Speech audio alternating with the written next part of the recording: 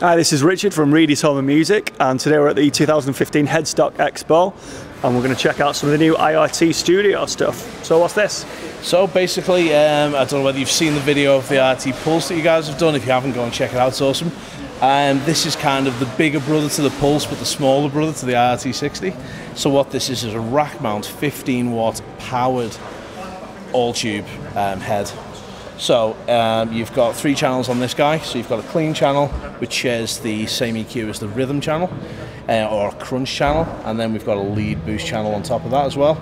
Got all the, dy the dynamics is basically your sag um, or your kind of um, resonance control that you get on most amps, and then you've got a tone control, which is like a global presence, and then a built-in digital reverb, which is sweet sounding. Uh, every single part of the EQ curve has got a push-pull on there. So you can drive the subs, you can cut the mids, you can accentuate the high end. So you've basically got six channel EQ on every single channel. Uh, and it sounds truly rad. So let's mm -hmm. hit the clean channel first. I'll just... Uh,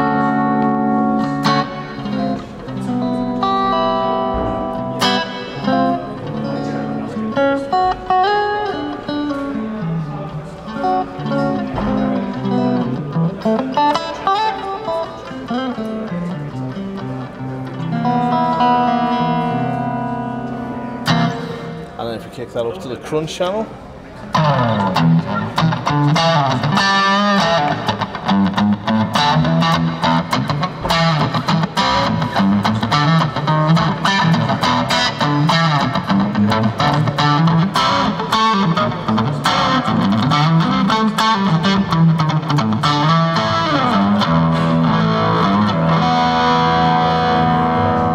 And then high gain channel.